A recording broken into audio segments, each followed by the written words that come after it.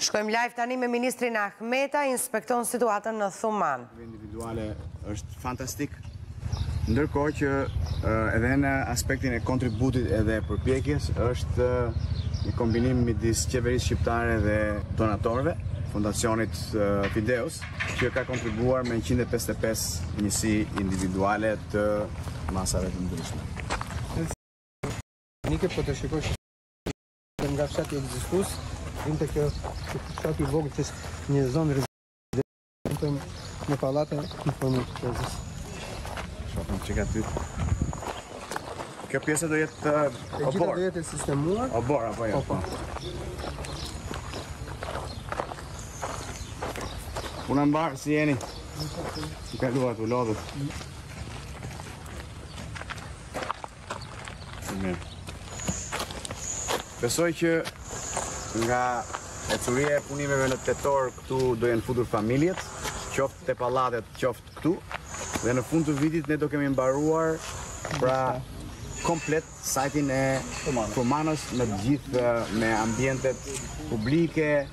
me shkollat, me njësitë individuale, me pallatet, pra do t'ia dorëzojmë, do t'ia dorëzojmë komunitetit dhe do t'ia dorëzojmë bashkisë. Ky është sajt shembull i rindërtimit, ku është kombinuar arkitektura e njësive individuale me pallatet, pra në harmoni të plotë me pjesën ekzistuese të ndërtimeve të Thumanës.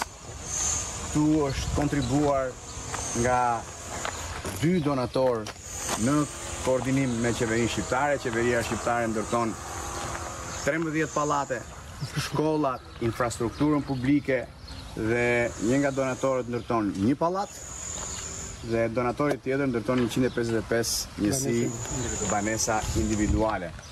Do akomodohen rreth dy mijë qytetarë, qind e pesëdhjetë e pesë familje këtu dhe dyqind e shtatëdhjetë e tetë familje tek pjesa e pallateve.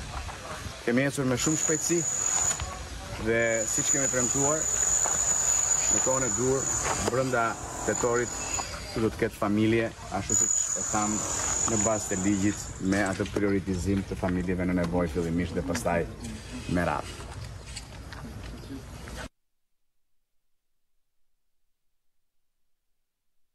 Ndoqët ministrin Ahmetaj tek inspektoi situatën në Thumanë, aty ku po vazhdon procesi i ndërtimit të shtëpive dhe pallateve, sipas zotit Ahmetaj, brenda 4 muajve kjo zonë, pra Thumana do të jetë shndërruar në një qytezë të re me dyqind e shtatëdhjetë e tetë apartamente në katërmbëdhjetë pallate, njëqind e pesëdhjetë e pesë banesa individuale me infrastrukturë moderne dhe ambiente sportive, si dhe do të ketë shkollën dhe kopshtin Ramazan Jangozi gati për të mirëpritur nxënësit, sipas zotit Ahmetaj në fillim të vitit shkollor, por edhe në qendrën komunitare në shërbim të banorëve.